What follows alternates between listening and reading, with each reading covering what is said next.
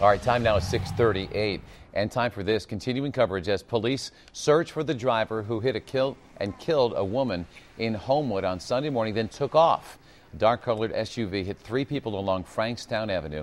One of them, 29-year-old Ayesha Burks, was killed. The other two were taken to the hospital. Police describe the SUV as a dark colored Ford Expedition or Ford Explorer with front end damage. That was not the only hit and run in Homewood on Sunday morning. The other happened a few hours before on Bennett Street. This is what we're talking about here. Police say a woman was critically injured after she was hit by a car here. The woman struck from behind while walking on the side of the road. Police tell us she is 50 years old, in critical condition. They have not released her name yet. The car involved is a white sedan, possibly, they say, a Hyundai Sonata.